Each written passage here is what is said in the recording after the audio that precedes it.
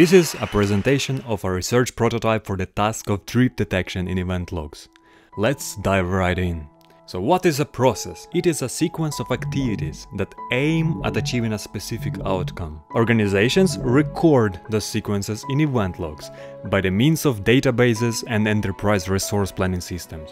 One of the fundamental questions that can be asked from this data is to provide transparency of how the overall process behavior looks like. And this question is answered with process mining.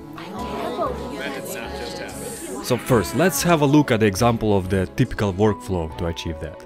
This file is an example of typical event log. If we open that file, we are able to see a fine granular information of how the process has happened. This example of the event log is from help desk system. The first column is the identifier of the case. Each case consists with multiple activities that indicate exactly how the things happen in a sequence. Looking at the first case, the first activity recorded was assign seriousness, that proceeds with two take in charge ticket activities and finishes with resolve ticket and close. For each of the activities the time is also recorded. Already from the second case, we can see that not all the cases are the same. Now we go ahead and use any process mining tool to discover the model of this behavior. In this view, we can see that the most common path that this process was taken was assign seriousness, taking charge ticket, resolve ticket and close. Yeah, well, it's a simplified view.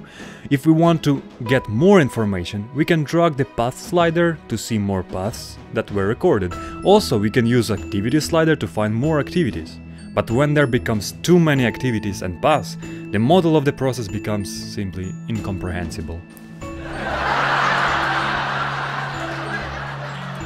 Well, one more problem of these models is that they do not show the dependence on time. How the processes run last year and how they run this year might be very different and the model will not capture that. Processes are not stable over time, just like life. Let's illustrate this with an example. Let's assume that we record all processes that happen in one person's life in a college. This timeline represents processes that happen during that time.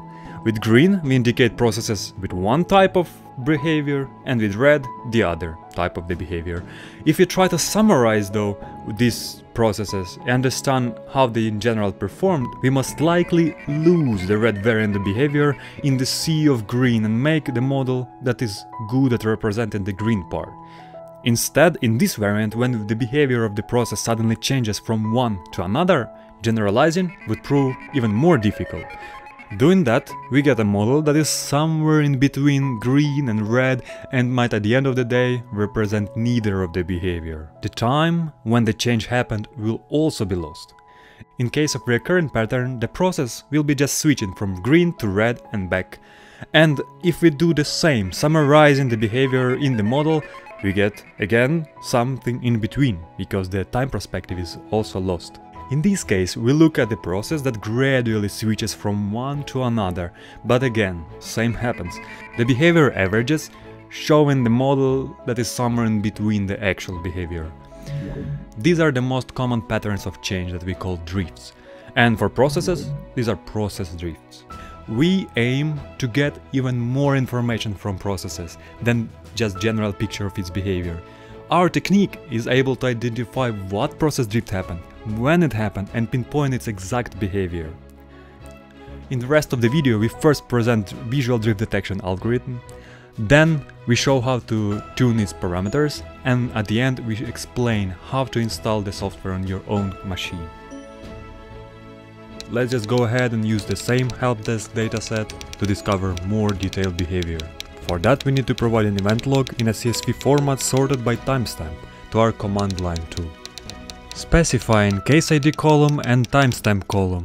The rest goes with default parameters.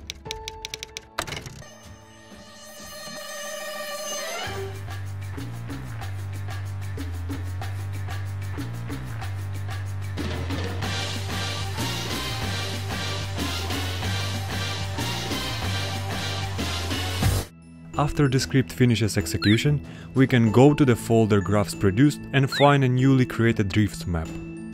One can read them from left to right as time axis goes, and from top to bottom to see the clustered behavior. Having a drift map, you can see how much change is present in the whole process.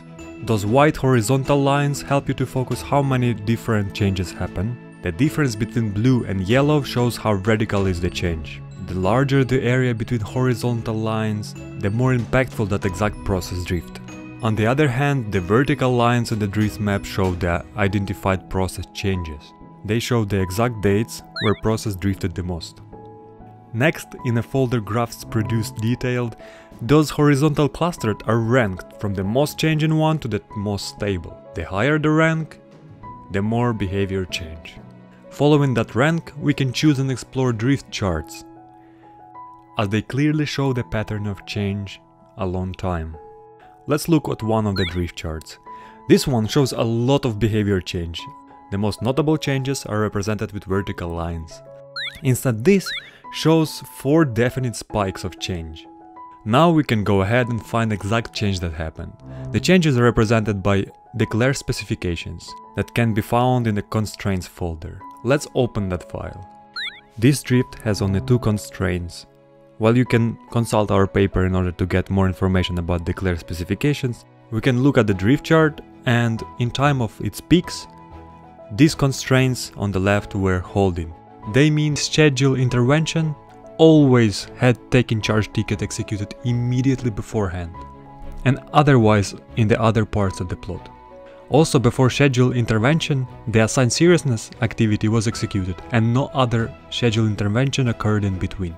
If we now compare this result and the result from the process discover, we realize that now we are able to pinpoint exactly when in time there were some particular differences and explore that.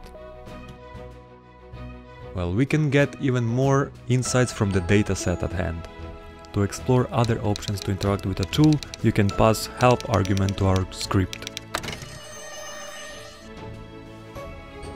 Let's try to change one of the main parameters of the tool that is the granularity of the visualization. Our tool relies on extracting information from all parts of the log, taking into account small time ranges. You decide how fine granular results are. The smaller the window, the more precise place of the drift. But with two small windows comes compromise of stability of our tool.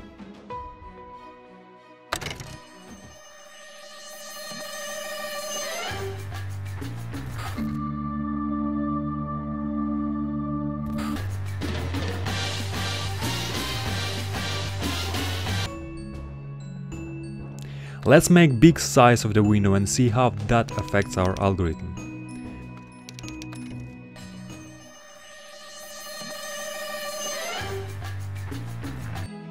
One can see how less precise the results on the right are. That will affect basically all analysis.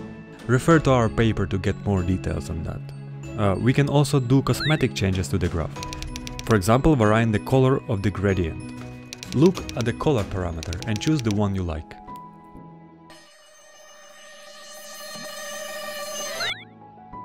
So to summarize, to get an insight with our tool, one should first explore the drift map to gain the overview of the drift situation, then look at the rank of the drifts and check the when and exactly what was different.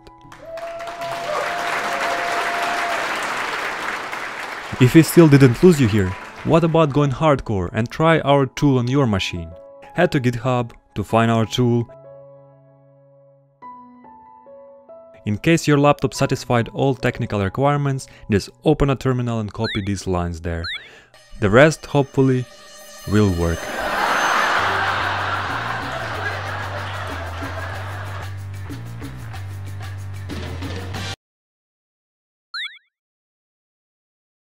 Thank you for watching our video. In case you have ideas for collaboration or a chat, contact one of our authors.